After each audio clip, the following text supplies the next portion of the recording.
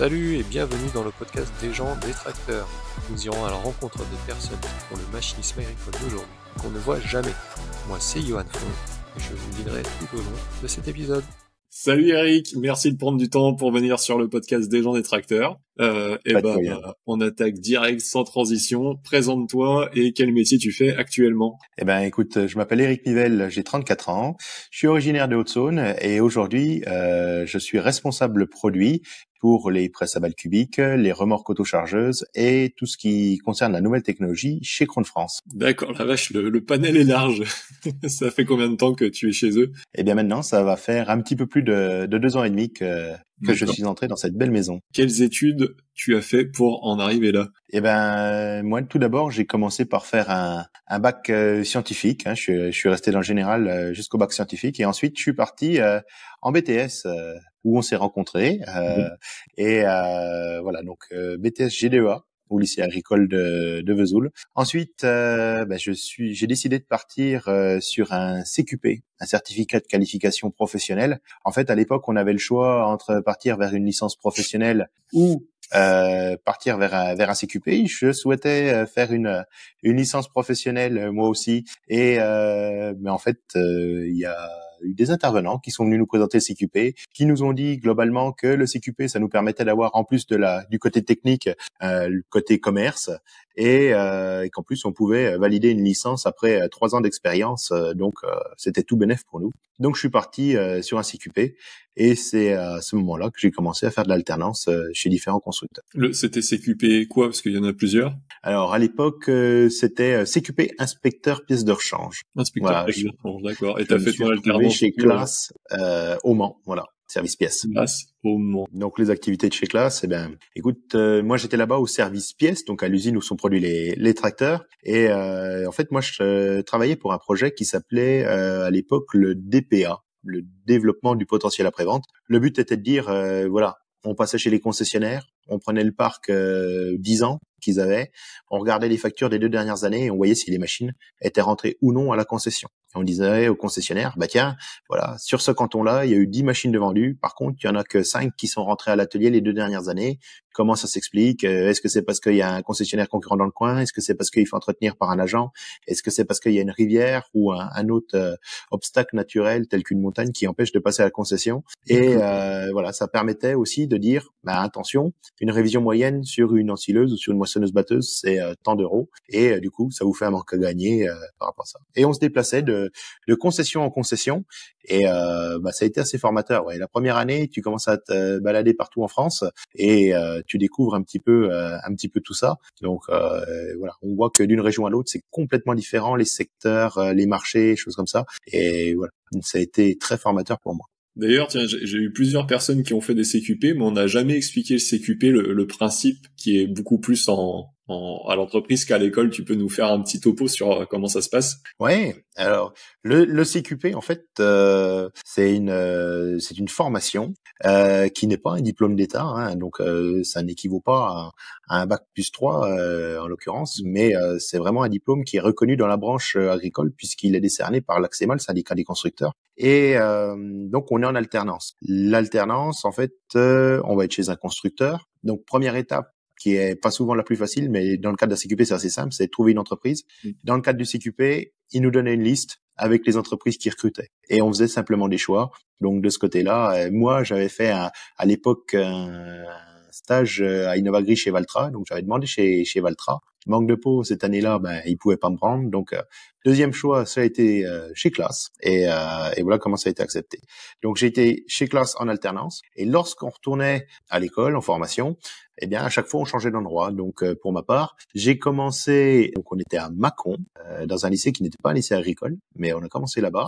Ensuite, on s'est retrouvé à l'époque qu'il y avait Carmo, à côté d'Albi. On est remonté euh, à Derval, en Loire-Atlantique, et on a terminé du côté de Montargis. Et entre la période Derval et Montargis, on a fait aussi une petite immersion en Angleterre, voilà, pour améliorer aussi la, ah, la partie la partie langue. Donc voilà. Mais c'est intéressant parce que euh, déjà on est des on va dire qu'au lycée agricole, on était globalement du, du quart nord-est. Là, on rencontre des gens qui viennent de, de, tous les horizons. On avait des gens de Toulouse, on avait des gens du nord de la France, voilà. Donc c'était c'était bien.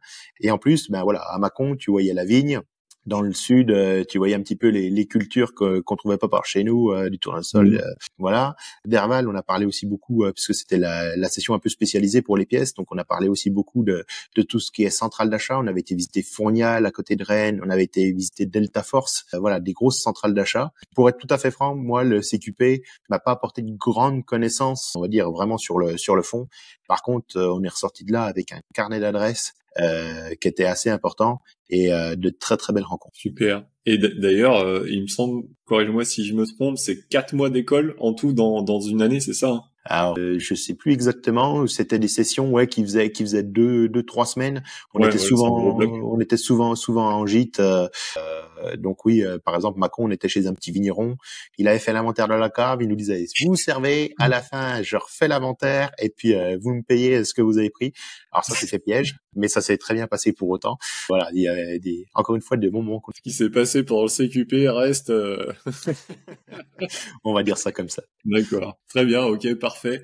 Et du coup, alors, tu as commencé chez Classe. Qu'est-ce que tu as fait entre Classe et Krone T'as dû faire d'autres choses quand même. Ouais, ouais, ouais, tout à fait. Donc ma, ma première année chez Classe, donc c'était à la pièce, comme je te dis, par rapport à ce, projet DPA. Et puis à la fin de cette année-là, euh, ils savaient pas s'ils allaient pouvoir me garder.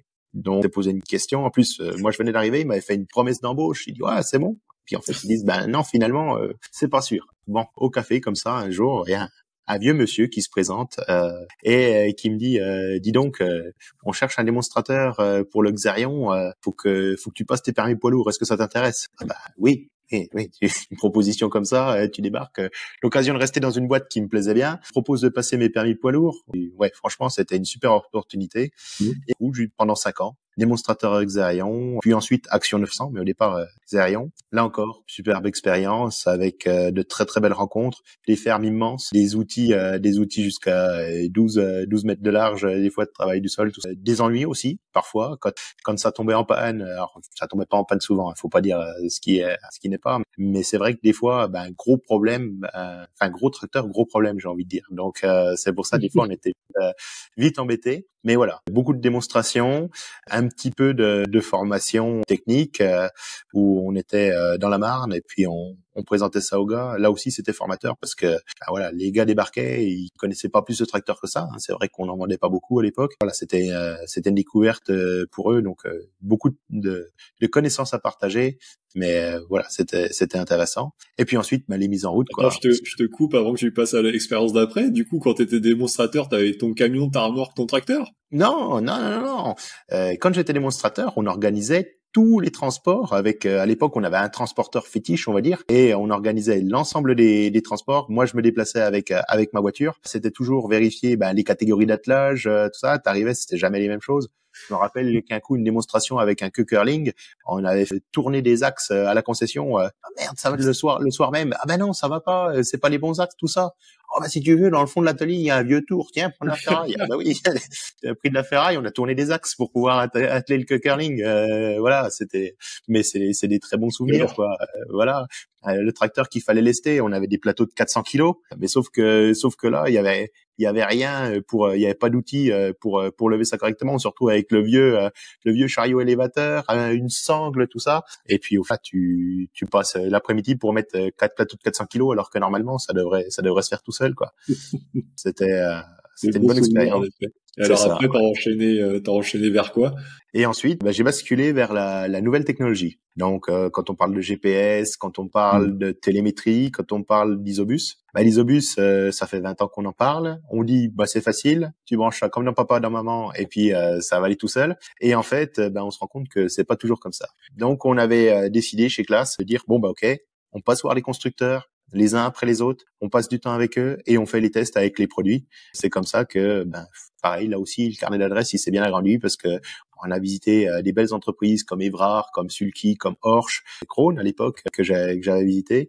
Et à chaque fois, on faisait des essais. Des fois, ça marchait très très bien et on avait des, des belles découvertes. Ouais, chez Kverneland, ils étaient très très avancés à l'époque, ils le mmh. sont toujours. Aujourd'hui, euh, quand on avait fait les essais, c'est la première fois qu'on voyait des, des, essais aussi poussés en isobus avec euh, les gars qui avaient sur les rampes de SMI la rampe justement pour le SMI, la fertile, la micro-fertile, et puis on pouvait séparer la modulation de dose pour les, les trois rampes. C'était assez, euh, assez intéressant, ouais. Et à la, euh, non pas à l'inverse, mais parfois euh, ça nous a permis de découvrir des couacs. Je me rappelle euh, chez Evrard, il fallait mettre 20 euh, 000 litres par hectare au niveau du terminal pour avoir 200 litres par hectare au niveau du pulvé, quoi. Et en fait, il y avait une petite erreur dans le programme au niveau du virgule. Voilà, donc ça a été bénéfique, je pense, pour tout pour tout le monde. Et puis voilà, le but c'était de pouvoir dire, bah, Monsieur le client, si vous prenez un GPS chez nous, vous avez déjà un épandeur d'engrais vous avez déjà un semoir Amazon, vous allez pouvoir vous connecter chez nous, ça va fonctionner. Et puis, c'était quoi le, le nom de ton job à ce moment-là? Ah, ils appelaient ça chargé de développement nouvelles technologies. D'accord. Donc tu, tu prenais un tracteur et t'allais faire des essais avec les, leurs outils, voir ce que ça fonctionnait quoi. Exactement. Voilà, on, on, venait, on connectait, on vérifiait si ça fonctionnait, euh, voilà. Et on avait un petit protocole en fait où on disait bah tiens, est-ce que les icônes s'affichent bien, est-ce que les langages sont présents, est-ce que voilà, on remplissait ça. Et à la fin, c'était vert. Oui, ça marchait complètement. C'était orange. Il y a des petits points euh, qui amélioré ou par exemple c'est pas compatible avec la modulation de dose, mais c'est compatible avec la coupure de tronçon. Ou des fois c'était rouge, et ça marchait pas du tout quoi. On a eu aussi quelques cas comme ça. Tu as renvoyé ça à ton bureau d'études et il fallait qu'il fasse euh, le boulot pour que ça fonctionne Ben souvent on se mettait en, lien effectivement, on, faisait des, des journaux Cannes et puis on récupérait entre euh, je me rappelle un outil qui marchait pas du tout à l'époque, c'était par exemple avec chez Grimm leur euh, leur semoir à betterave. Donc on a pu travailler ensemble pour qu'aujourd'hui la compatibilité fonctionne correctement quoi. Et à côté de ça, par exemple pour la pour la télémétrie, y avait ce qu'on appelait la documentation automatique. Donc en gros, c'était souvent utilisé sur les moissonneuses batteuses. T'entrais dans le champ, ça commençait à enregistrer euh, les données de rendement, tu sortais du champ, off, ça terminait quoi. Du coup, les gars, fallait importer les parcelles. Mais des fois, ben les gars, ils avaient pas reporté, donc fallait reporter. Des fois, les gars, ils se basaient sur euh. Donc Télépack, c'était des fichiers franco-français, alors que nous, on avait un système qui était basé sur une projection géographique mondiale.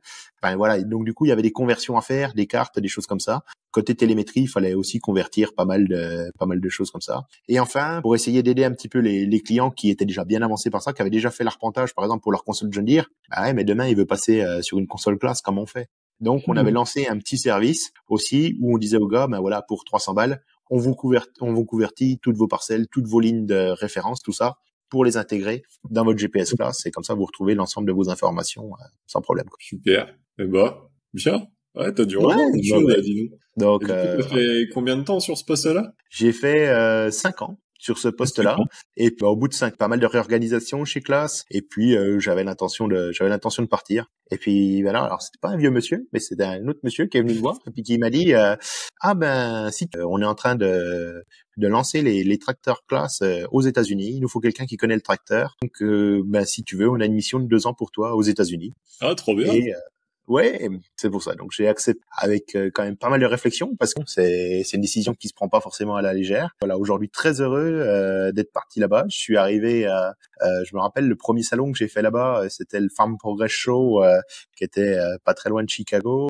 Lançait donc l'action 900 là-bas ouais, tu sais jamais, euh, tu sais jamais comment réagir en fait. J'ai envie de te dire euh, ici quand tu travailles des Allemands, des Italiens, des Irlandais, euh, voilà, on reste, on reste des Latins. Quand tu es de l'autre côté de l'océan, c'est déjà plus la même. Je me souviendrai toujours début du début du salon, 8 heures, l'hymne américain se lance, les gars s'arrêtent tous, baissent leur chapeau, puis tu dis qu'est-ce que je dois faire quoi? Est-ce que est-ce que si je fais la même chose qu'eux, ils vont dire mais attends, il se prend pour qui là? Euh, Il se croit déjà pour un Américain. Tu dis si tu continues à bouger, est-ce que ça va être considéré comme une offense? Euh, Qu'est-ce que Et c'est là t'es comme un con parce que tu sais tu sais vraiment pas quoi faire, tu sais pas comment réagir. T'as pas eu la mise en route. Ouais, c'est ça. Donc tu t'arrêtes, tu bouges plus, puis t'espères que ça va passer quoi. Donc D'accord. Ah, du coup, t'as vécu là-bas deux ans, alors? Ouais, bah pas tout à fait parce qu'il y, a un, y a un petit truc qui est passé par là qui s'appelle le Covid et euh, qui m'a ah fait rentrer un petit peu plus tôt. Mais euh, ouais, donc j'allais là-bas pour deux. J'avais deux casquettes là-bas en fait. La première, c'était euh, ben, mettre en route les, les tracteurs aussi bien aux concessionnaires qu'aux clients finaux, les premiers tracteurs ah qui étaient euh, qui étaient vendus. Et en même temps, comme c'était un marché qu'on connaissait pas du tout, euh, alors je sais pas si ça a beaucoup évolué, mais à l'époque, le marché américain c'était 84 000 tracteurs. John Deere occupait 60% de part de marché, Chaz 28%.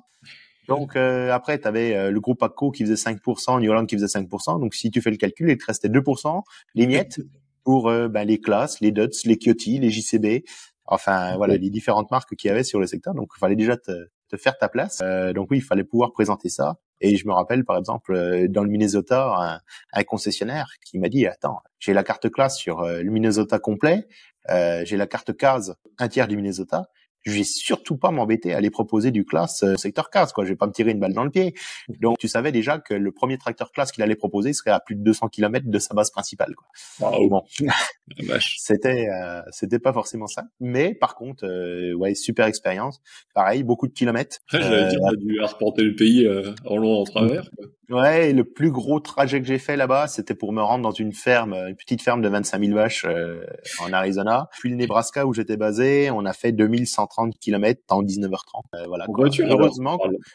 heureusement qu'on pouvait s'arrêter toutes les 4h30 pour faire plein de 120 litres de, de carburant de notre Ford F250 euh, 6 litres 8 480 chevaux quoi. Euh, voilà quoi. Fou, toi. Mais t'étais basé où pour le coup? T'avais quand même un point, un point fixe. Ouais. Chez Class of America, ouais, à, à Omaha, dans le Nebraska, la, la deuxième plus grande, euh, enfin la plus grande ville du euh, du, du Nebraska, mais c'est pas la capitale, c'est Lincoln la capitale. Et voilà, et c'est c'est bien parce que quand tu prends les États-Unis globalement, c'est c'est au centre des États-Unis quoi. Donc euh, quand Mm. on, on est allé en, en Louisiane, on est allé en Caroline du Sud, euh, enfin voilà, globalement on a fait l'ensemble des, des États-Unis et puis un petit peu aussi de un petit peu aussi de, de Canada en fait, euh, voilà. Et on avait des concessionnaires canadiens qui étaient qui étaient sympas. Fallait les comprendre au départ, hein. L'accent, faut faut y aller. Et puis surtout, tu te rends compte que ben au Québec, moi je pensais qu'ils parlaient au moins tous anglais. Ben non, en fait, tu as des concessionnaires dont les techniciens ou les les secrétaires ne parlaient que français. Ouais, ouais. Et du coup, euh, il y avait un gros boulot de traduction aussi de documents parce que comme tout venait euh, de Class of America, tout était en anglais. Donc l'inspecteur local, était, euh, il était plutôt traducteur que vraiment euh, inspecteur. Quoi. Intéressant. D'accord. Alors, t'en retires quoi de cette expérience aux États-Unis? Continue à croire que voyager, c'est une belle ouverture d'esprit. Je pense que c'est comme ça aussi qu'on se rend compte qu'il y a certainement des défauts en France, mais on n'est pas si mal loti que ça. Mm. Et ça reste, euh, ça reste des très très bons souvenirs. Un peu de nostalgie. C'est vrai que des fois, euh, je reprends la voiture, je, euh, je me rebranche sur la radio. Euh, Aujourd'hui, avec Internet, ça va tellement bien. Je me rebranche sur la petite radio locale que j'écoutais là-haut. Et tu dis, ouais, c'est vrai que c'était bien. La chance que j'ai eue, en plus, c'est que, comme je te l'ai dit, j'étais là-bas en plein Covid. Sauf que là-bas, il y avait quasiment pas de restrictions, quoi. On parlait pas de masque, on parlait pas de confinement. Les gens, ils sortaient, voilà. Donc de ce côté-là, euh, c'était c'était euh, un bon moment de liberté. Je sais pas comment j'aurais vécu le, Covid ici, enfermé en France, mais en tout cas là-bas, euh, voilà, j'ai eu l'occasion de, de naviguer. Je te dis, même euh, à Thanksgiving, j'avais fait un road trip de 3000 kilomètres. J'étais parti pour aller à, à Memphis, et aller voir les les musées consacrés à la musique. J'étais allé voir euh, des musées de la Seconde Guerre mondiale où tu vois que là-bas, c'est euh, les Américains sauvent le monde. Euh, voilà, j'avais été voir aussi là où Martin Luther King a été tué. Enfin voilà, des pas mal de pas mal de choses aussi pour apprendre. Bah, Qu'est-ce qui s'est passé aux États-Unis Voilà, les plantations là, en Louisiane où il y avait pas mal, il y avait encore quelques locuteurs français. Donc aller voir des plantations qui étaient historiquement aux Français et aujourd'hui avec des gens qui parlent encore français, Ah, raconter un peu l'histoire, tout ça. Et Excellent. non, de très très bons souvenirs. Et puis surtout, euh, bah, là-bas aussi, euh, on a parlé de la première casquette qui était de la, la mise en route de l'équipement, euh, mais aussi la deuxième casquette, c'était de ramener euh, aussi des informations à l'usine pour pouvoir être euh, vraiment euh, en lien avec le, le marché américain. Voilà, donc on allait voir des constructeurs aussi pour savoir euh, comment comment ça se passe. euh, voilà, quand on parle de freins électriques, quand on parle euh, par exemple de pompes hydrauliques, là, on, on était en train de développer un, un tracteur qui, ben, ouais, ok, si si là-bas je veux pouvoir tirer un semoir et puis se met à un régime économique, finalement, il me faut une pompe de 430 litres par minute. Donc, comment on fait pour intégrer ça dans un tracteur et tout, et, et voilà quoi. Donc, non, ça permis quand même de- d'explorer pas mal de pas mal de choses aux États-Unis, découvrir le pays. Euh, en plus, là-bas, en pleine élection, euh, Trump-Biden, euh, Ah oui, en donc plus. euh, il y avait des fermes euh, ah nickel, il y avait il y avait des fermes de toute façon, ils te demandaient d'abord pour qui tu votes. Euh, je vote pas, moi je suis pas d'ici. Bon bah c'est bon, tu peux rentrer. Ah, la chance, putain. Mais ouais ouais, ouais tout à fait. Donc euh, et puis et puis tous les préjugés qu'on a où euh, où finalement c'est pas que des préjugés quoi. Tu vas au décathlon du coin, euh, la première arme létale elle est à 39 dollars, soit à peu près 35 euros. Euh, moi la première fois que je suis arrivé là-bas, j'ai pris euh, des carottes râpées et je me suis rendu compte que c'était parfaitement euh, immonde à manger. Puis quand tu retournes la boîte, tu te rends compte que sur 100 grammes de carottes râpées, ils ont rajouté 10 grammes de sucre ajouté. Mais pourquoi rajouter du sucre dans les carottes, merde Donc euh, voilà, c'était un peu particulier. Et du coup, j'ai vite été chercher mes légumes au marché le dimanche matin et mes carottes, je me les suis râpées moi-même. Et tu aurais voulu y rester vivre ou, ou pas?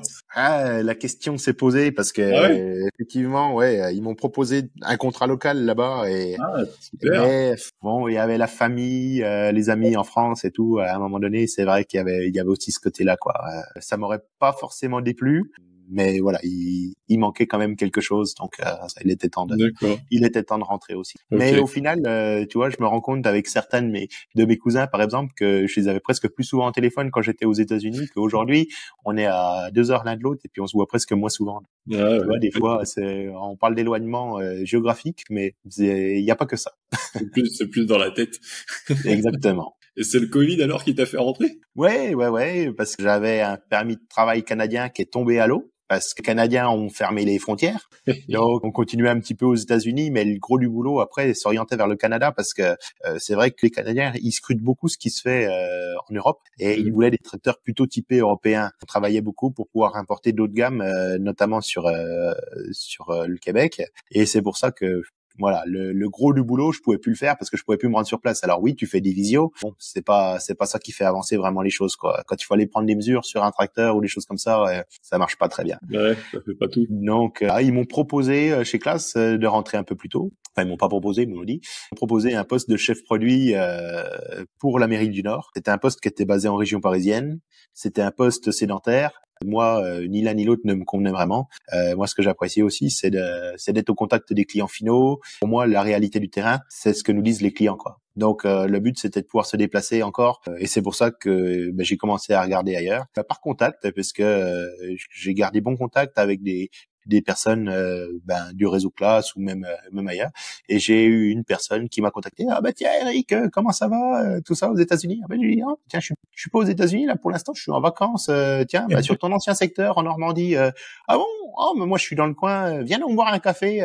et puis en fait je me suis retrouvé à, à Torigny où il y a une une, une concession Krone et du coup, je me suis retrouvé entre euh, le directeur commercial et à l'époque le directeur général de chez Krohn, bien calé entre les deux. Et puis euh, bon, Qu'est-ce qu'on fait alors? Comment je, je, suis entré chez Krohn? J'ai quitté classe le 5 mars 2021. Le 8 mars 2021, euh, j'arrivais chez Krohn.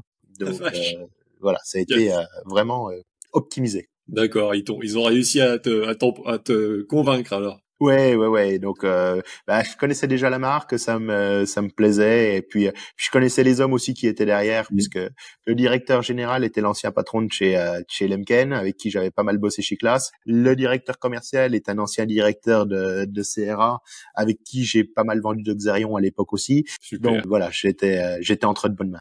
Ouais, les planètes étaient alignées, quoi. Exactement. Alors du coup, décris-moi ce, ce, métier que tu fais en ce moment. En ce moment, donc euh, comme je te dis, responsable produit. Responsable produit, en gros, euh, c'est euh, pareil, ça va dans les deux sens. C'est-à-dire que quand l'usine en Allemagne vient nous proposer des nouveaux produits, ben c'est récupérer les infos, les transformer en, on va dire, en, en arguments commerciaux hein, pour nos équipes euh, sur euh, sur le terrain. Et puis à l'inverse, euh, quand il y a un besoin pour le marché français, je vais prendre un exemple tout simple, mais aujourd'hui chez Krohn, il y a une presse qui s'appelle la Varipac, une presse à courroie.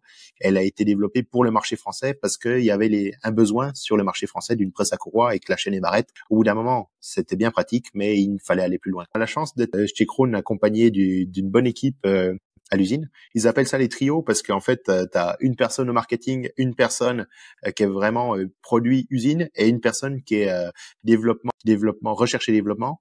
Donc, j'ai avec moi ben, neuf contacts à l'usine, on va dire, trois pour la presse, trois pour l'armoire auto-chargeuse et trois pour la nouvelle technologie. Super. La nouvelle technologie, c'est un petit peu plus particulier dans le sens où ben on parle à la fois commerce et technique, et puis euh, on est encore dans un domaine où il y a beaucoup beaucoup d'innovation, donc faut essayer de, de, faire grandir tout le monde ensemble. Euh, donc les inspecteurs commerciaux, les techniciens itinérants chez nous, et puis le réseau, hein, bien entendu, parce que voilà, quand on commence à parler de capteur NIR, puis que au bout de la ligne l'option elle est à 30 000 euros, faut pas se tromper non plus. Mmh Et tu fais de la formation aussi un peu dans ce job-là Alors ouais, j'ai l'occasion de faire un petit peu de formation. Tiens, euh, là, avant qu'on se retrouve, euh, j'étais en train de préparer mes formations concurrence.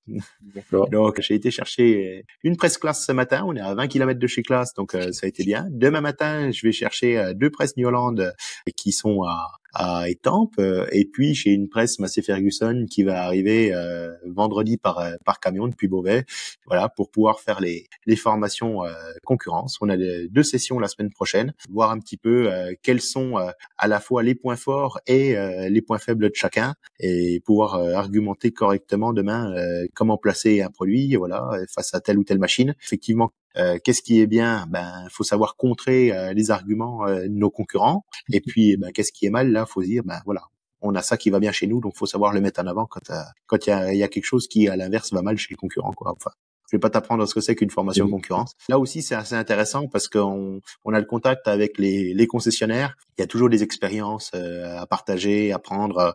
et puis, ah ben, moi, j'étais sur une affaire l'autre jour, il s'est passé ça, ça, ça.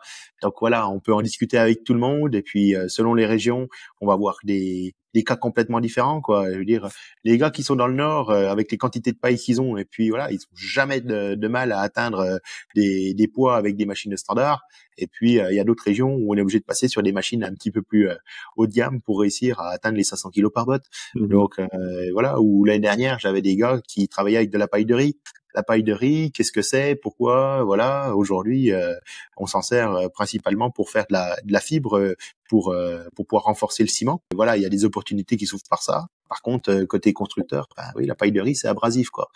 Et, avant que un hectare de paille de riz c'était c'était aussi abrasif pour la presse qu'un hectare de paille de blé, que 10 hectares de paille de blé, pardon.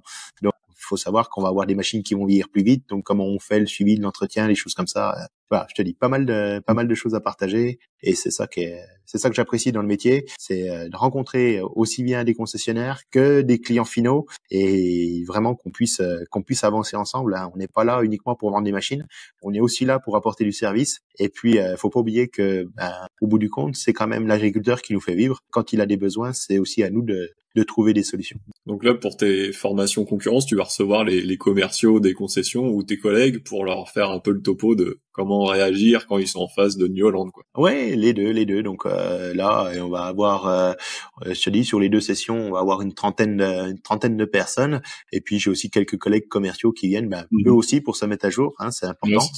un truc sympa, moi, qui me fait toujours rire euh, dans les sur les responsables produits, parce que j'en ai connu aussi pas mal c'est qu'ils arrivent à trouver des machines de toutes les couleurs euh, en, trois semaines et qui font ramener euh, sur leur site. Alors explique-nous un peu ça, comment ça marche pour les pour les gens qui connaissent même pas du tout ce, ce point-là. Tu, tu dis que tu vas chercher une presse chez Classe. Ça peut être surprenant en effet, mais euh, en gros, il y a, y a deux façons de faire. Faut savoir déjà que le milieu agricole, c'est tout. On se croise tous sur les salons, voilà, on se connaît, pas de souci. Et on a beau être concurrents, ça nous empêche pas que euh, parfois on a besoin de, de s'entraider. Ça peut être euh, des fois pour des, des, compatibilités, des choses comme ça.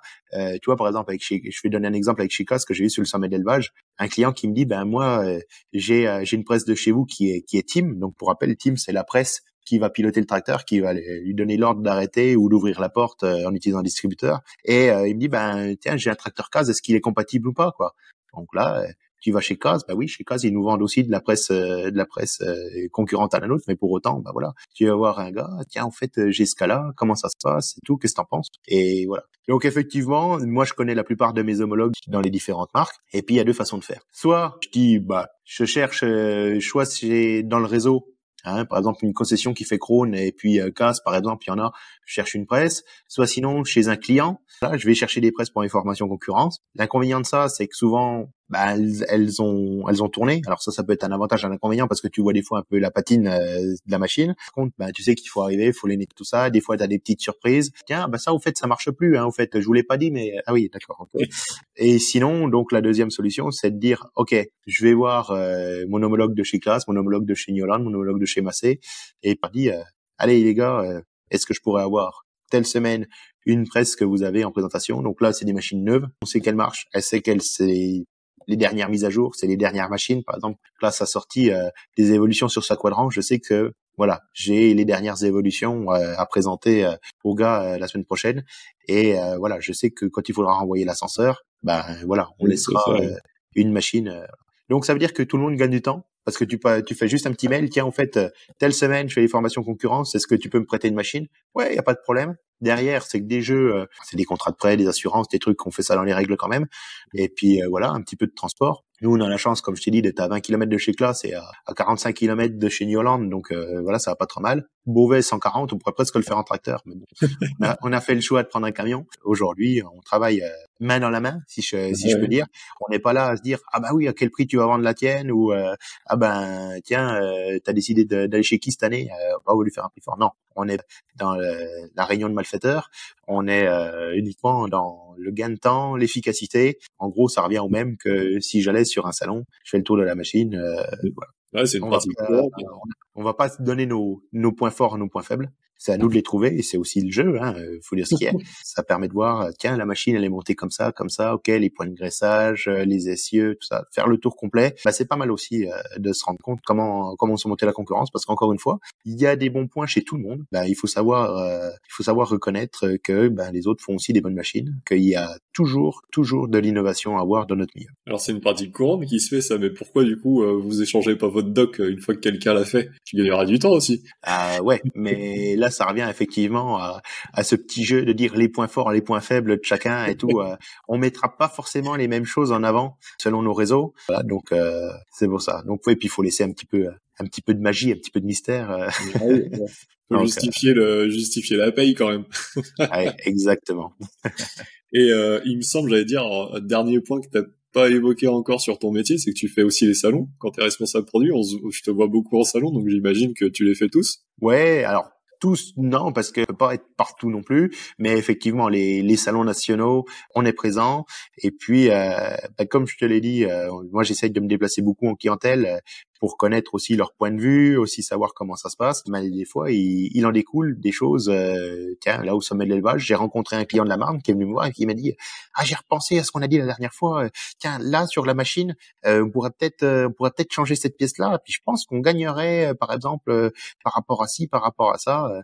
Et tu dis, bah oui, c'est pas bête ce que vous dites, tout ça.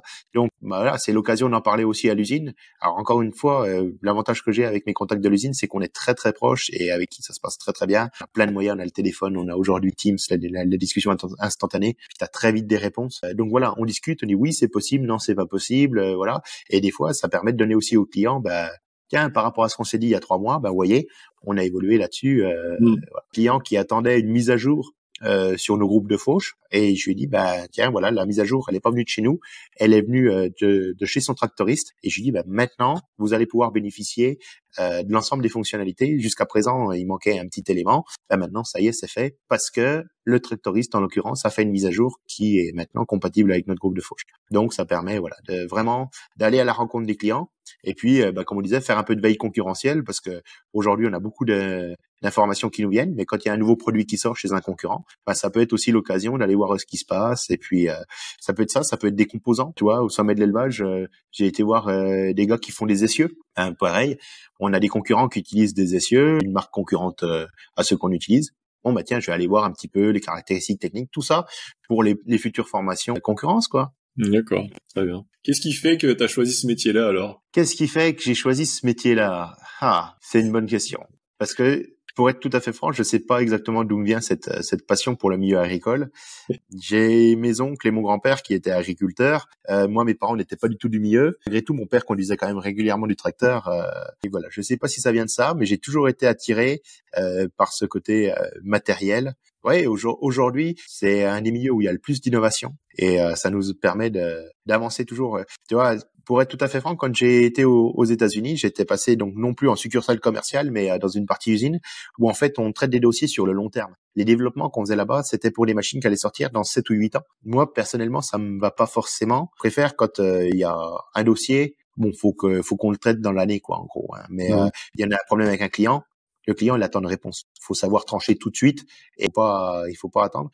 Et je pense que c'est c'est ce côté-là que que j'apprécie aujourd'hui. C'est un le fait de, de pouvoir être euh, être au contact des clients et puis euh, vraiment d'avoir euh, de pouvoir découvrir des gens de tout horizon. Et puis la seconde chose qui me plaît aussi c'est c'est la polyvalence de mon métier parce que malgré tout même si je suis plus en contact avec mes collègues du commerce, ben il va falloir travailler aussi le côté technique. Mhm. On a cette polyvalence qui, qui permet vraiment de, de voir les choses dans leur globalité. Et ça, pour moi, c'est important. Et enfin, la dernière chose qui me plaît aussi, ben, c'est l'autonomie, quoi. Parce que aujourd'hui, tu vois, j'ai accepté de faire de faire ce podcast-là avec toi, que personne ici viendra me dire ah ouais, mais attends, euh, pourquoi tu enregistres à cette heure-là? C'est dans tes heures de travail Non, on sait que les heures de boulot elles sont faites, on sait que globalement les objectifs ils sont atteints, et à partir du moment où ça c'est ça c'est c'est atteint, derrière, c'est on a une certaine liberté. Euh, voilà, la semaine prochaine, euh, je vais voir des concessionnaires. Enfin, là non, la semaine prochaine, il y a les, les formations concurrence. La semaine d'après, je vais voir des concessionnaires avec des collègues allemands.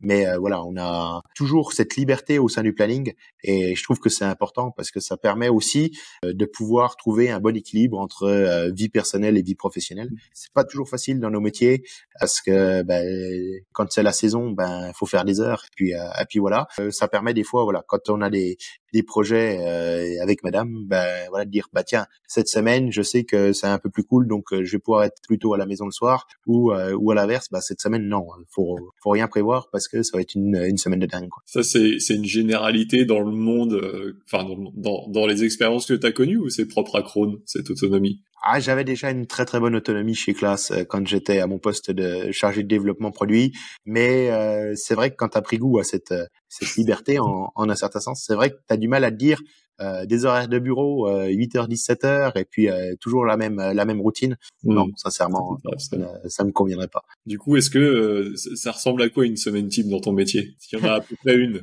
eh ben, c'est ce que j'ai dit. Il n'y a pas de semaine type. Il n'y a pas de semaine type? Il n'y a pas de semaine type. Selon la saison, le salon. voilà, c'est ça.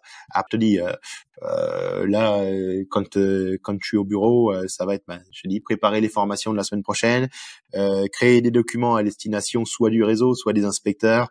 Euh, alors des fois, on peut se dire c'est un petit peu euh, c'est un petit peu rébarbatif hein, de créer des PowerPoint, des choses comme ça. Mais en fait, bah, c'est un peu comme le métier que tu, que tu fais euh, aujourd'hui, c'est de dire comment je peux comment je peux tourner ça pour que les gars ils soient tirés. Pourquoi S'ils viennent en formation, on sait que les gars ils vont passer trois jours globalement assis à un bureau. Bah, non, les gars, tu les motives pas quoi. Par contre, si tu leur dis, bah tiens, on va commencer par faire des petites présentations dynamiques autour des machines, des petits jeux, tu vois, en disant tiens, euh, regarde euh, la partie lubrification, regardez comment c'est fait sur telle machine, telle machine, toi, essayer de dynamiser un petit peu ça pour que le gars, à la fin de, sa, de son séjour, il dit ah ouais, franchement, j'ai appris des choses et en plus j'ai pas vu le temps passer. Mm. Ça c'est vraiment c'est vraiment l'objectif quoi. Et euh, c'est pareil quand on est avec en présentation quoi. Si tu présentes une machine à un client et puis que le gars tu dis bon allez, on commence le timon, le pick-up, le machin. non, faut au bout d'un moment, faut qu'on faut qu'on arrive à dynamiser ça et puis euh, que le client à la fin dit ouais, oui, ok, c'est franchement une belle machine et puis euh, puis on n'a pas perdu notre temps en, en l'amenant ici. Alors comment tu dynamises ça? C'est c'est le savoir-faire qui vient avec l'expérience ou c'est il y en a d'autres Il y a un peu de ça, il y a un peu de ça, ouais. Et puis et puis derrière c'est toujours euh, se remettre en question pour dire tiens qu'est-ce que qu'est-ce qui irait bien? C'est des vidéos, c'est euh, comme je te l'ai dit parfois des, des petits jeux, euh, des petites animations, des choses comme ça.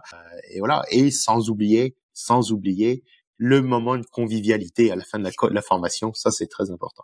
Donc euh, non, mais voilà, il y a toujours un moment d'échange, que ce soit dans les pauses café ou que ce soit euh, le soir, tu vois, euh, tu dis bon bah, allez, on se retrouve tous au même endroit, on va manger ensemble. Voilà, c'est aussi là que les, je vais pas dire les langues se délient parce qu'on arrive quand même à avoir des bonnes cohésions de groupe en formation. Mais c'est vrai que quand tu as des gens qui viennent de, de, tout horizon, qui ne se connaissent pas, ben, il faut réussir pendant cette courte période qu'est la formation, euh, de réussir à leur trouver des points communs et puis que, que ça matche. Alors, il y a toujours des gens au qui, vont commencer à aller discuter et puis ça va aller tout seul. Et tu as toujours le, le timide qui est, qui est dans le fond de la salle qui va pas vouloir sortir. Et euh, j'avais un, un, formateur vraiment qui disait, euh, si vous faites des formations, vous retrouvez toujours les sept nains. Vous avez toujours timide dans un coin, vous avez toujours prof, c'est celui qui sait tout qui va vouloir lever la main. Vous avez grincheux, voilà. il dit vous allez toujours retrouver les sept nains et voilà quoi. Donc euh, faut réussir à les à les détecter hein, au début de formation et puis ben s'arranger pour euh, ben que que tout ce petit monde là en fait travaille bien ensemble et puis qu'on avance. Mais encore une fois, c'est pas un gars qui forme les autres, c'est vraiment un groupe qui découvre ensemble une machine et qui, qui avance ensemble. quoi. C'est vraiment l'objectif. D'accord. Ah, le truc des sept nains, il est, il est génial. J'avais jamais entendu. C'est tellement vrai. Quoi. Bah tu vois. la prochaine fois. Qu'est-ce qui te motive le plus dans ton travail? Ah, c'est une bonne question. Je pense que c'est c'est le fait d'avancer dans les projets, quoi, de, de voir des, des petites évolutions et à chaque fois t'en sais un peu plus. Ça, là, je prends l'exemple l'autre jour, on a fait une démonstration euh, d'une d'une remorque de transport et le client voulait des pneus spécifiques. Et puis euh, donc tu regardes par rapport aux documents d'homologation, tu essayes de trouver euh, donc un, le fournisseur des pneus, tout ça, et puis de voir comment on peut faire vis-à-vis de l'usine, des choses comme ça. Et en fait, là, tu arrives à la fin du dossier, tu dis tu dis déjà à ton commercial oui, c'est possible. On est capable de faire ça. Donc, on est capable d'aller au bout des choses vis-à-vis des demandes de ce client-là.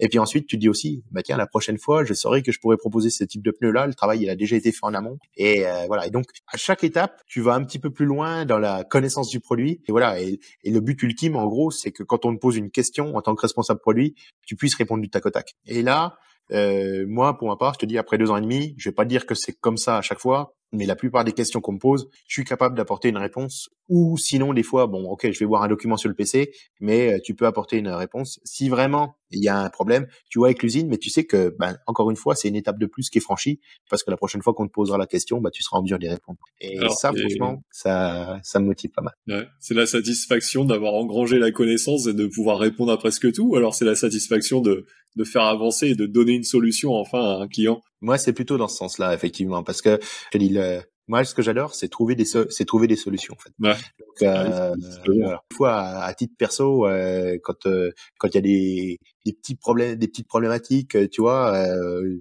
que ce soit la famille, les amis, tout ça, c'est de dire, bah tiens, regarde, par rapport à ce problème-là, on peut trouver ça, on peut faire ça, on peut mettre ça, trouver, faire quelques propositions, trouver des alternatives et finalement tomber sur un compromis. Et ouais, quand tu as trouvé la solution, tu... bon bah ça y est, le, le boulot est fait quoi. Ouais. Super. Quelles sont les qualités qui, dont tu as besoin pour faire ce métier-là, pour connaître le succès? Ah, t'en as des bonnes questions en fait. Non, mais euh, euh, je pense que les, une des qualités principales, c'est l'humilité parce que comme on l'a dit, il faut savoir se remettre en question en permanence. Mm. C'est pas parce qu'on a un très bon produit aujourd'hui que ce sera le cas demain. Et donc euh, il faut savoir euh, se dire attention, il y a peut-être quelque chose à faire de ce, de ce côté-là. Euh, la seconde chose, j'ai envie de dire, c'est l'empathie aussi, parce que quand on travaille avec le réseau, euh, il y a des fois il y a des gars qui vont vendre des machines tout au long de l'année puis il y a des gars, ben, c'est leur première machine, ils savent pas forcément euh, comment ça se passe, ils connaissent pas la machine, donc faut les faut les accompagner. Peut-être que des fois ils, ils auront besoin de qu'on ouais, accompagner c'est le terme en fait ils ont besoin de support il bah, faut savoir se mettre à leur niveau aussi parce qu'ils connaissent pas que c'est forcément qu'un con c'est c'est vraiment l'accompagnement et euh, pour ça je pense qu'il faut pas mal d'empathie et puis enfin la dernière chose comme on l'a dit tout à l'heure ça va avec le planning c'est la flexibilité quoi parce que même si euh, j'ai pas mal d'autonomie euh, vis-à-vis de mon planning eh ben quand on me dit attends là il y a un il y a un problème et il faut intervenir chez ce client-là. J'ai eu le cas l'autre jour, un client qui avait un, un problème. Bon ben, allez hop, tu prends la voiture, euh, tu pars euh, directement chez ce client et puis tu t'occupes pas s'il y a des dossiers qui sont en cours, tout ça. Encore une fois, le maître mot, c'est la satisfaction client. Donc, euh, mmh mais ça demande une flexibilité. Ok, c'est la flexibilité qui va dans les deux sens, comme tu disais, c'est bien sûr service client, mais après, si tu as un peu plus de temps, tu peux la reprendre pour toi et aller faire tes activités quand t'as quand t'as fini ta journée. Quoi. Exactement. Alors du coup, ben, en fait, après, c'était, est-ce que tu as trois conseils pour à nous donner pour réussir dans ce métier, mais c'est un peu ce que tu viens de nous donner, je pense, non? Ouais, ouais, ouais. Euh, globalement, hein, c'est ça. Je te dis, c'est euh, savoir euh, savoir rester humble, parce que encore une fois, euh, je te dis, on, on aura toujours des, de l'évolution dans ce métier. Donc euh, voilà, ce qui est vrai aujourd'hui, il n'est pas vrai demain. Et puis je pense que mais que ça soit que ça soit n'importe où, hein, que ça soit un concessionnaire, que ça soit un client final ou ou que ça soit un constructeur, il y a toujours cette remise en question qui, qui doit avoir lieu à un moment ou à un autre. C'est mon point de vue. Encore une fois, ça n'engage que moi. Euh, la flexibilité, ben ouais, il faut faut savoir. Moi, pour ma part, j'essaye de pas compter mes heures. Et puis euh, derrière, je te dis, si s'il faut y aller, parce qu'on a des produits aussi sur la saisonnalité, ben voilà, il faut il faut aussi prévoir euh, prévoir cette flexibilité là. Et puis l'accompagnement, ouais, réussir euh, réussir à accompagner tout le monde, se mettre au niveau de tout le monde. Le but c'est c'est de c'est comme je te l'ai dit tout à l'heure c'est de grandir ensemble quoi. C'est que tout le monde soit au même niveau et pas euh, et pas en laisser derrière en disant de toute mmh. façon lui il a rien compris il vendra jamais des machines donc euh, laisse-le tomber. Ah, non non non. On a des clients partout en France donc concessionnaire euh, il a besoin d'accompagnement. Il y en a qui ont besoin de plus d'accompagnement que d'autres. Et pour autant c'est aussi notre boulot de les accompagner. Bien beau beau bel esprit j'aime ça. J'aime bien. C'est quoi ton meilleur souvenir professionnel? Carrière. Toute la carrière ah, Alors en fait, qui t'a marqué que tu racontes souvent. Il y a, il y a un truc qui m'a marqué et que je raconte souvent, mais euh, je suis pas sûr que ça soit très très bien. En fait, euh, en fait, on était à Agritechnica avec euh, des collègues de chez classe et on a fait du covoiturage. Donc on, on descendait d'Agritechnica. J'avais laissé ma, ma voiture sur le parking de l'usine à, à Metz et puis je redescendais avec un collègue qui était dans les Vosges, un autre qui était à Dijon et, et puis moi je redescendais en Haute-Saône. Et en fait, sur la route retour, je me suis rendu compte que j'avais oublié les clés de la voiture dans le tiroir de l'hôtel. Et, là se pose plein de questions. La première, c'était, enfin, la première réaction, c'était, on fait demi-tour. Et puis, il y a le chauffeur qui m'a dit, non, non, euh, écoute, ça fait déjà quatre heures qu'on roule, on va pas remonter à l'hôtel pour redescendre. Et il dit, bah, tente d'appeler la concession. Oui, t'appelles la concession? Oui, monsieur, on peut vous faire un double. Euh, venez le chercher sous 15 jours. Ah non, mais en fait, euh, on est à deux heures, deux heures et demie de, l'usine, ça va pas le faire, tout ça. et là, alors en plus, moi, j'ai tendance à perdre tout le temps mes affaires. Comme ça devient une habitude, je suis plutôt calme dans ces cas-là. Et donc, ça énervait mes collègues dès que je sois aussi calme dans la voiture. C'était aussi quelque chose. J'avais mon collègue qui était devant, qui était fin énervé. Mais comment tu peux rester aussi calme dans une telle situation? Je dis bon ben attends, on va trouver une solution. Et puis la solution, euh, ça a été euh, allô papa, et tu fais quoi aujourd'hui? Oh ben je reviens du journal. Ah ouais, ouais, ça te dérangerait pas de faire deux heures de route pour monter un double de clé à Metz? Du coup voilà, j'ai vu mon père débarquer, qui m'a amené les doubles de la voiture. Ah, j'ai été seigneur hein, quand même. Il est, il est arrivé à, minuit, à, midi, je lui ai payé le repas. Euh, et puis euh, et puis on est redescendu. Moi, je suis redescendu avec lui jusque dans les Vosges. Mes deux collègues redescendaient avec la voiture dans les Vosges. Après, j'ai repris ma voiture pour aller à Dijon. Lui est redescendu directement chez nous.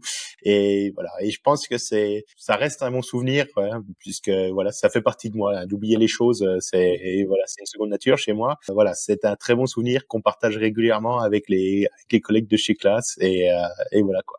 C'est, j'espère ne pas ne pas faire pire, mais euh, on verra, l'avenir nous le dira.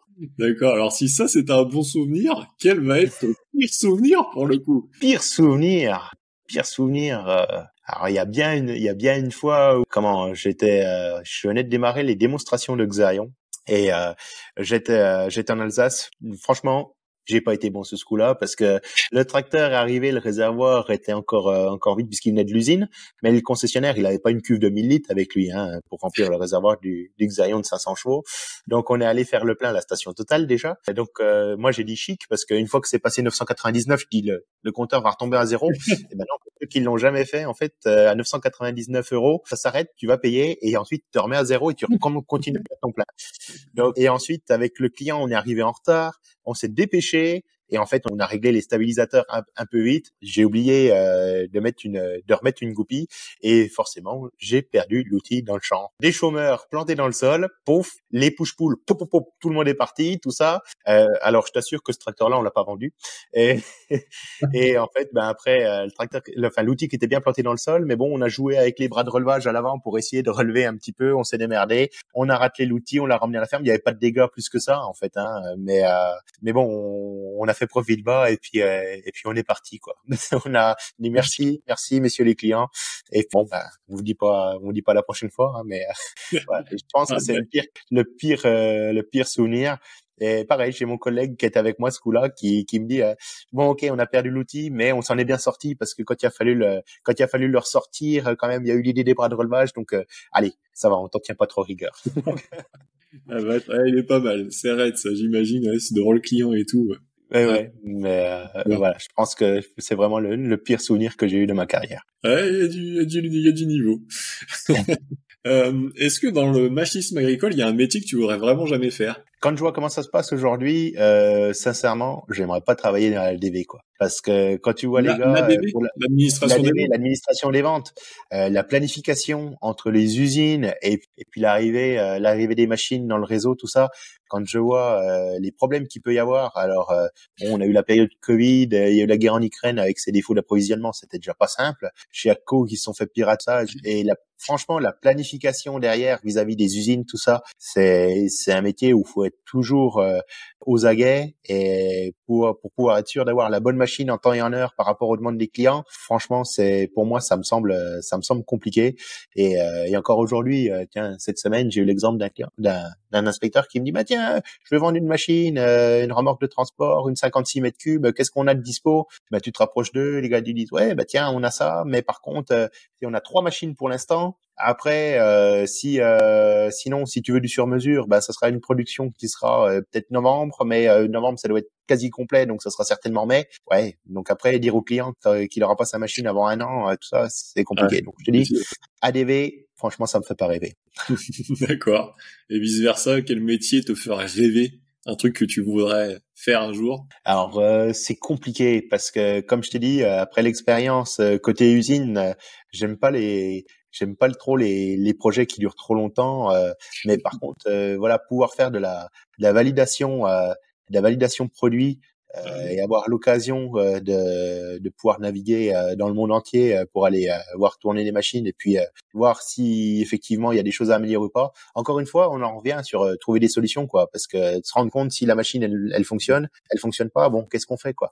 Par contre ça, on sait que c'est pas vraiment compatible avec la vie de famille, donc même si ce serait un métier intéressant pour moi, hier je me vois mal me barrer un mois en Australie, revenir ensuite, partir deux semaines en Scandinavie, enfin voilà, c'est c'est sûr qu'il y a je suis sûr qu'encore une fois, pour l'ouverture d'esprit et puis euh, euh, voir des, des choses, euh, découvrir de nouvelles cultures, des choses comme ça, c'est génial.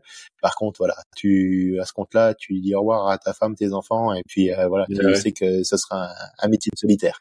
C'est sûr, en effet. tiens, on parlait du milieu agricole. Est-ce que on doit être du milieu agricole pour réussir dans nos métiers? Bah écoute, non, je pense que pas forcément, parce que je te dis, moi mes parents étaient pas forcément agriculteurs, j'avais des oncles qui étaient agriculteurs, mon grand-père aussi, mais pour autant euh, pas forcément plus baigné que ça. Euh, j'ai même envie de te dire que peut-être des fois que ça peut être un, un plus dans le sens où tu n'arrives pas avec des a priori quoi. On a des gars aujourd'hui que leurs parents sont agriculteurs, ben ils sont des fois encore un peu trop enfermés dans une marque ou dans des préjugés que l'on a, alors que quand t'es pas du milieu agricole, oui tu peux avoir une marque que tu préfères par rapport à, à d'autres. Euh, moi j'ai commencé dans une ferme où il y avait des Massey Ferguson pendant très très longtemps, je, je voyais que par Massey Ferguson quoi.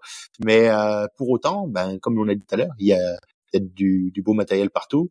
Ben voilà, faut, je pense que le fait de ne pas être du, du milieu agricole, ça permet des fois de, de passer au-delà des préjugés que tu pourrais avoir mm. quand, quand justement tes, tes parents tiennent une ferme. Alors, la limite de ça, c'est que souvent tu as moins de t'as moins de connaissances que les autres et il faut faut le rattraper quoi. J'ai des collègues dont les parents sont sont éleveurs. Euh, quand on commence à parler euh, bestiaux, euh, voilà, eux ils sont calés. Euh, moi des fois je suis un petit peu en retrait parce que je manque de connaissances par là quoi. Ou des fois quand on parle de produits phyto, euh, de réglementation, euh, moi je vais être un peu plus en retrait, alors qu'eux ils ont encore cette connaissance-là parce qu'ils ont vu leurs parents faire depuis toujours, et puis euh, ils ont peut-être dans l'idée un peu plus tard de reprendre la ferme, donc ils continuent de s'intéresser aux contraintes qui, qui peut y avoir sur une sur une ferme quoi. Donc voilà un petit peu euh, le point de vue par rapport à ça. Super remarque que tu fais là sur le, le fait de pas être du, du, monde agricole, parce que c'est exactement ce que j'ai remarqué aussi, et je suis complètement d'accord avec toi que même souvent, moi je l'ai vu dans mon poste précédent, il y en a prenaient des décisions par rapport à leur vécu, même le vécu de leurs parents personnels sur leur ferme, et pour moi, ça allait à l'encontre de ce qu'on était censé faire pour le reste des clients, quoi. Et, souvent, ça m'a marqué. alors que dans mon équipe, j'en avais embauché des un ou deux, je crois, qui n'étaient pas du tout du monde agricole et qui avait ce recul-là même même par rapport à moi et par rapport aux autres de l'équipe, et qui venait apporter la différence en disant ah oui, il a raison, parce que nous on est trop euh, un peu trop ouais, euh, par le vécu. Alors, est-ce que tu as un coup dont tu es extrêmement fier, euh, des, un truc que tu aurais fait ou euh, une astuce à partager dans un domaine en particulier par rapport à ton expérience professionnelle? Ah, tu me prends un peu au dépourvu mon gars parce que euh, j'ai pas forcément de j'ai pas forcément de choses en tête qui me viennent à l'esprit là. Ah, après ça se trouve oui, il n'y a pas de réponse. Hein. Non, la la petite satisfaction personnelle que que j'ai et euh, c'était la meilleure année qu'on a fait qu'on ait fait en Xerion chez Classe. Cette année-là, on avait vendu ou loué hein, mais c'était Unimat 33 Xerion. La moitié des démonstrations euh, que qu'on avait fait, c'était euh, c'était euh, transformé en vente. Voilà, ça je le garde en tête parce que c'est une petite victoire personnelle par rapport au début qui était un peu chaotique, comme je j'ai pu te le raconter précédemment, et de se dire après ouais, t'as on a réussi à un tel résultat. Et ce qui me le prouve encore aujourd'hui, c'est que j'ai des clients Xerion qui m'appellent, qui m'ont suivi, qui ont gardé mon numéro et des fois qui euh, qui me disent tiens en fait j'ai ci, j'ai ça, est-ce que est-ce que qu'est-ce que t'en penses tout ça? Ou encore l'autre jour qui m'a dit un client qui m'a dit je voudrais acheter un Xarion, euh, euh, est-ce que tu pourrais m'aider tout ça? Et puis j'ai regardé sur Agri Affaires et j'ai dit bah ouais déjà tous ceux qui sont là je les connais je sais ce qu'ils ont fait, voilà. Et si tu as besoin d'un coup de main, tout ça, on peut on peut regarder ensemble. Et ça, sincèrement, pour le moral, c'est c'est bénéfique quoi parce que tu sens vraiment la reconnaissance des gars avec qui tu as travaillé et notamment celle des clients finaux. Est-ce que tu as un ou une mentor, une personne qui t'a enseigné beaucoup de choses pour te permettre d'arriver là où tu en es? Alors non, j'en ai pas une, j'en ai plusieurs. Mais voilà, j'ai notamment le, le, un des anciens directeurs de chez Classe euh, qui m'a beaucoup aidé. Il disait cette expression que je trouve encore juste aujourd'hui, c'est euh, quand tu verrouilles tout à 100%, t'es bon à 80%. Et quand tu verrouilles tout à 80%, t'es bon à 50% et là tu passes pour un con. Encore l'autre jour euh, avec un concessionnaire, ça s'est un petit peu passé comme ça. le gars, il a pas tout verrouillé et au final, il est passé pour un con. Ah. Donc euh, c'est pour ça, ça c'est c'est vrai et euh, qui était là, qui faisait du très c'est très banal hein, ce que je vais dire. C'était le travail paie et le vent tourne. Voilà. Quand des fois dans une situation, tu dis mais putain pourquoi ça m'arrive à moi? C'est pas vrai. Qu'est-ce que je fous là et tout. Et en fait, euh, quelques temps après, bah, tu te rends compte que la situation s'est améliorée et que il n'y a pas besoin de s'en faire. Euh, de toute façon, même s'il y a des nuages aujourd'hui, demain il fera, il fera beau. Donc, euh, et c'est pour ça que ces deux hommes-là que j'ai encore en contact, pour qui j'ai beaucoup d'affection, je sais que voilà, c'est c'est des gens que j'estime beaucoup, qui m'ont beaucoup aidé et je ne, serais clairement pas là sans eux. Tu veux les nommer? Eh ben à ce compte-là, je remercie Philippe Duflo et je remercie Didier Colobert. Très bien, super, ça fera des futurs spectateurs du podcast. je ne sais pas, on verra bien. Euh, ouais. On parle beaucoup d'intelligence artificielle en ce moment. Est-ce que toi tu penses que ça pourrait t'aider ou peut-être tu l'utilises déjà dans ton métier actuellement? Écoute, euh, en ce moment, on a un partenariat avec euh, Lemken et on développe un véhicule autonome qui va utiliser effectivement l'intelligence artificielle. Ah, bien. Donc effectivement, on est en plein dedans. On est en plein dedans. Je pense que c'est c'est des choses qui vont qui vont venir petit à petit, qui viendront indispensables. Euh, au départ, ça va surtout servir à combler euh, des tâches qui sont rébarbatives des choses que, que tu fais régulièrement et que tu n'as pas forcément envie de, envie de faire. Ça va surtout aider à ça. Et je pense que dans un avenir un peu plus lointain, effectivement, on aura suffisamment d'informations pour pouvoir euh, aller au-delà. Je prends l'exemple euh, aujourd'hui, le, robot de chez, les, de chez Krohn et Lemken qui a été présenté euh, déjà lors de, de précédents salons. Ben, il y a un capteur à l'arrière du déchômeur chez Lemken qui va permettre de savoir s'il fait du bon ou du mauvais travail. quoi. S'il y a un bourrage, s'il y a tout. Donc aujourd'hui, le but, c'est vraiment de remplacer euh, l'œil humain. Voilà, c'est pas uniquement de, de, faire une tâche, euh, comme je te disais, la, la, tâche de manière rébarbative, ça on sait déjà le faire. Et on avait, euh, il y a pas si longtemps que ça, un, un concurrent que je ne, je ne nommerai pas, mais euh, qui a qui a lancé un, un robot euh, autonome et qui euh, voilà, il a lancé le robot au fauchage dans une dans une parcelle de 25 hectares. Au bout de 15 hectares, la prise de force le cardan il a cassé et en fait le gars il s'est retrouvé avec 15 hectares de fauché mais 10 hectares de couché. Et en fait le, le but de l'intelligence artificielle nous dans notre vision des choses c'est de dire faut aussi être en mesure de prévenir en cas de pépin ben, l'utilisateur. Voilà. Alors c'est là où c'est compliqué parce que faut le prévenir, oui, après, faut pas le prévenir toutes les deux minutes, lui envoyer un SMS. Euh, Tiens, euh, il pleut, est-ce que je peux continuer à travailler? Mmh. Tiens, je sens des vibrations, donc peut-être que j'ai une, euh, une, un couteau de faucheuse qui est, qui est cassé. Est-ce que tu peux venir me changer le couteau de faucheuse? Enfin voilà, faut que le, le, client final il ait confiance dans le produit. Et pour ça, ça demandera du temps parce que ben tu sais ce qu'on en dit. Pour faire des choses simples, souvent ça te prend. c'est très difficile de faire les choses simplement. C'est plutôt dans ce sens-là que je devrais le dire. Qu'aujourd'hui, on est au tout début de, l'intelligence artificielle. Il y a des possibilités qui sont incroyables. Après, voilà, faut réussir, euh, faut pas s'éparpiller, faut réussir à, à trouver ce qui permettra encore une fois de, de répondre aux, problématiques de demain. Aujourd'hui, on a une première problématique qui est euh, ben, la main d'œuvre. Hein. tout le monde a du mal à recruter, que ce soit les constructeurs, les concessionnaires, même les, les ETA cherchent des chauffeurs. Que le robot sera une euh, sera une réponse. Mmh. On ne le sait pas, on l'espère. Et derrière, ben remplacer un homme, c'est pas simple. Et voilà, c'est là qu'on se rend compte que le cerveau humain, il est très très bien fait. Et quand tu veux commencer à le remplacer, tu te heurtes à beaucoup beaucoup de problèmes. Mais euh, j'ai confiance euh, en la technologie de demain et euh, l'IA fera fera partie de façon de, de, la technologie du futur. J'en suis certain. Très bien, super, futur prometteur alors. Ok.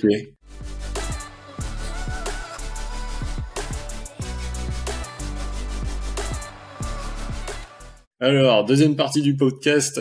Euh, est-ce que les utilisateurs, ils lisent les manuels d'utilisation chez Chrome Ça, c'est pour toi, ça. Alors, est-ce que les utilisateurs lisent les manuels d'utilisation chez Chrome Non. Ou même euh, ce que tu as vu dans les expériences précédentes. Hein? Non. Et à ton avis, non, pourquoi parce que, parce que j'ai parce que j'ai souvent des questions. Tiens, il faut faire comment ça? Faut faire comment ça?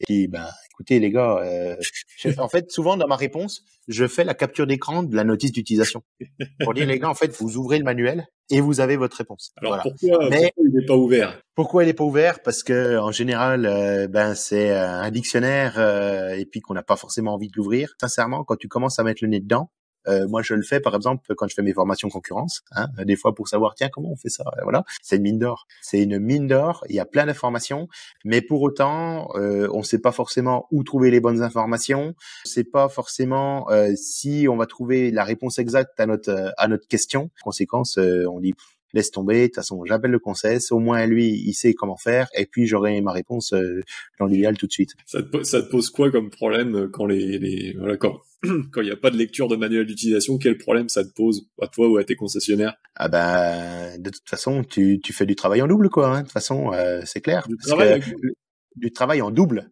Ah, parce que parce que le temps que tu passes à trouver l'information et à répondre au gars, bah finalement c'est du temps qui est qui est pas efficace quoi parce que euh, voilà c'est du temps que tu as perdu et c'est vrai que si tu si tu fais le cumul à la fin de l'année du temps que tu as perdu pour répondre à des questions auxquelles tu as réponse assez rapidement et c'est le manuel d'utilisation mais toi moi des fois c'est des c'est des formations produits et puis des fois j'ai un inspecteur qui me dit "Ah au fait, on n'a pas une présentation par rapport à ça? Si en fait, tu vas sur euh, tu vas sur les, les documents partagés, tu vas voir, c'est c'est au bon endroit, c'est bien rangé et tu auras toutes les informations que tu veux mon gars. Ah bon, OK, merci. Donc dans ces cas-là, c'est t'as mis 10 secondes à répondre quoi. Mais si Mm. tu cumules tous les petits moments où tu réponds à ça, où tu fais des mails avec des explications, euh, tout ça, ben, au final, euh, c'est vrai que je pense que ça représente, allez, sur un an, je suis sûr que ça représente quasiment euh, trois, entre trois et quatre semaines de, de travail parce que sans s'en rendre compte, on passe énormément de temps à répondre à des questions qui sont déjà euh, où tu peux- t'as- les gars peuvent trouver l'information facilement. d'accord.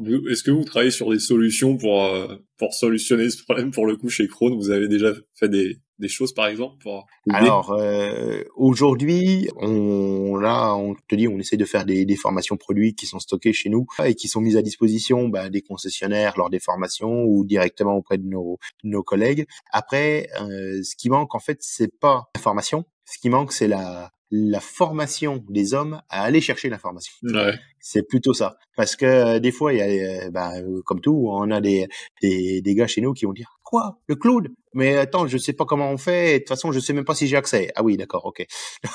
On part de loin. Les informations, elles sont là. Est-ce qu'ils savent où les chercher? Ça, c'est euh, c'est une autre affaire. Et voilà, le, vraiment, je pense que faudrait qu'on passe autant de temps à former les gars sur l'utilisation de. Bah, nous, on utilise par exemple OneDrive. On passerait, euh, on passerait une après-midi à les, gars- à les former à OneDrive. Ça serait certainement plus productif Ouais. euh, des fois que, que de devoir les former euh, sur les, les produits en direct. D'accord, ouais, c'est sûr, c'est intéressant. C'est c'est vrai, c'est ce que je, c'est ce que je m'étais dit dans mon poste précédent aussi. Et on avait créé des, vraiment beaucoup de modules où c'était où est l'info, comment je vais la chercher, et on faisait exprès de formation technique de dire aux gars, voilà, maintenant on va passer une heure, chacun son tour, vous allez y passer. T'as une question sur un tracteur, tu dois trouver euh, telle référence pièce ou quel est l'huile moteur, et, et là tu rigolais parce que tu voyais que oui, c'est clairement la vérité. Ce que tu dis, c'est que les mecs ils savent même pas où aller. en fait. C'est ça. D'accord. Est-ce que vous faites un peu de vidéo tuto, par exemple, chez Krone? On en fait peu, on en fait très peu. On fait du e-learning, donc on a on a du e-learning pour les formations nouveaux vendeurs. Moi, je viens de faire une formation technique, par exemple, sur une euh, sur une de nos remorques, Euh, mais euh, sinon on fait euh, non, on n'a pas on n'a pas trop de de documents qui vont dans ce dans ce sens-là. Ouais. D'accord. Et tu penses que une vidéo, par exemple, ça pourrait, ça pourrait fonctionner si, si, si je puis dire, le gars il lit pas le manuel d'utilisation, est-ce qu'il a, s'il a une petite vidéo euh, facilement accessible, est-ce que ça fonctionnerait mieux? Je suis pour les, les vidéos pas à pas. Euh, pour être, j'en suis moi-même utilisateur. Quand des fois il y a des trucs que je connais pas, tu vas sur YouTube, tu regardes et puis tu suis la vidéo du gars qui fait ci, qui fait ça, toc, et t'apprends plein de choses comme ça. Donc euh, la vidéo pas à pas, c'est pas mal. Après, aujourd'hui, nous, ce qui nous limite, c'est c'est le manque de moyens. Euh, c'est euh, les moyens humains, dans le sens que tu le sais tout comme moi, le montage vidéo, c'est chronophage. Mm. Euh, voilà. Et ensuite, euh, ce qui nous manque aussi, c'est bah, c'est les moyens techniques. Faire une, euh, un enregistrement d'écran de PC, ça va encore à peu près. Et après, les logiciels de montage, bah, euh, pareil, c'est des licences. Le matériel, si tu veux faire une vidéo, bah, il faut un drone, prise de son. Toi, il te faut peut-être une GoPro ou quelque chose comme ça, une caméra qui va te permettre de pouvoir filmer en mouvement, en action la machine. Donc bah, derrière, c'est aussi des moyens techniques et des moyens humains qui manquent aujourd'hui pour euh, pour aboutir à ça. Et du coup, tu, je vais me faire l'avocat du diable, je, je, retourne le truc contre contre moi ou contre nous. C'est que tu, tu disais tout à l'heure, les gens ils savent pas chercher l'information, mais c'est pareil si t'as as 25 vidéos et que le mec il fait pas l'effort d'aller les chercher. Qu'est-ce que t'en penses? Problème. Là, effectivement, on arrivera tout à fait au même problème. Mais par contre, il passera plus facilement du temps sur YouTube qu'il n'en passera dans son manuel d'utilisation. on est d'accord. Donc, euh, tu m'as fait une belle transition parce que tu as parlé d'e-learning. Donc, euh, c'est des e-learning que vous pouvez faire pour euh, formation commerciale et technique, c'est ça? C'est bien ça, ouais. D'accord. Et qu'est-ce qu'ils en pensent les, les, les, concessionnaires ou même toi euh, par rapport au e-learning Ce format-là, c'est bien accepté Alors c'est compliqué de te répondre pour être tout à fait franc parce qu'on vient seulement de mettre ça en place chez nous. Ah d'accord. Ça va être la première année où on va avoir des formations nouveaux vendeurs. Pour être tout à fait franc, aujourd'hui, dans la plupart, chez la plupart des constructeurs, il y a des formations où tu dois avoir un, un niveau minimum requis pour accéder à des formations. Moi, ce qui me fait peur, des fois, c'est qu'avec du e-learning, euh, les gars, ils cliquent sur suivant, suivant, suivant, suivant. Ils ont fait la formation de trois heures, ils l'ont fait en 10 minutes. Et puis, à la fin, euh, ils ont répondu au questionnaire un petit peu comme ils veulent, mais finalement, ils arrivent à avoir le, le nombre euh, suffisant de réponses.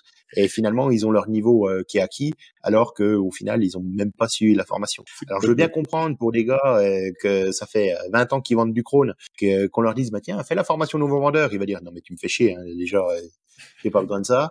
Euh, par contre, pour les nouveaux vendeurs, je suis convaincu qu'il y a un intérêt. Et c'est comment ils fonctionnent vos e-learning? C'est du, du prérequis avant du présentiel, par exemple ou? Souvent, c'est ça. D'accord. Là, euh, la formation nouveau vendeur, euh, c'est ça. Et tu vois, la formation technique, elle demande d'avoir une formation, euh, une formation basique. D'accord. Bon, ben, on se recontactera dans un an pour pour faire le bilan. Ça, c'est toujours des trucs intéressants. A pas de débat. Conclusion.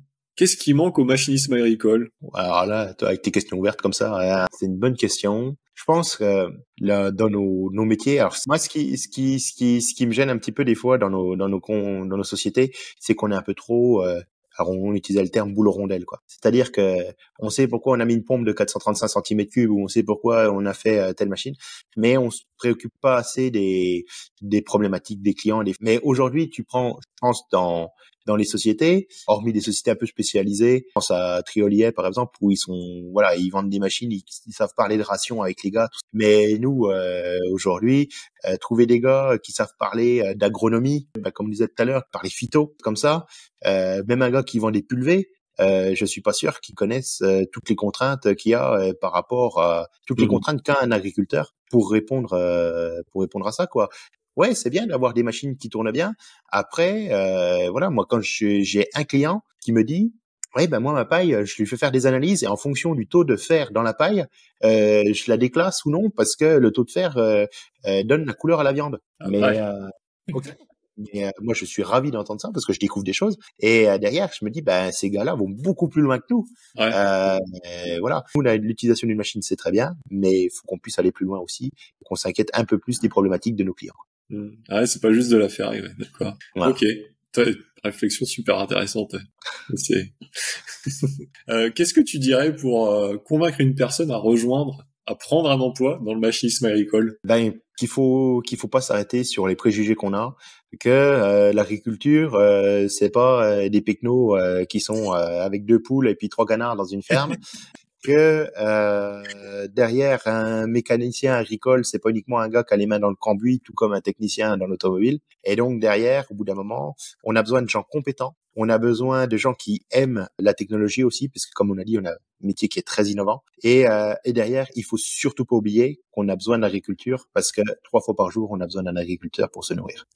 C'est beau ce que tu dis. Ouais, je parle comme dans les livres. Ok. Euh, quelle est la prochaine personne que je vais interviewer? Il faut que tu me donnes un nom, un prénom, et bien sûr en option d'une personne que je connais pas. Proposer un le responsable des techniciens itinérants qui est vraiment sympa et qui a une bonne connaissance sur la partie technique. Et ben à ce compte-là, j'en parle, euh, j'appelle un petit coup ce soir David Pugino, et euh, et puis comme ça, je lui je lui parle de toi, et puis s'il est d'accord, je partage ses coordonnées. Exactement.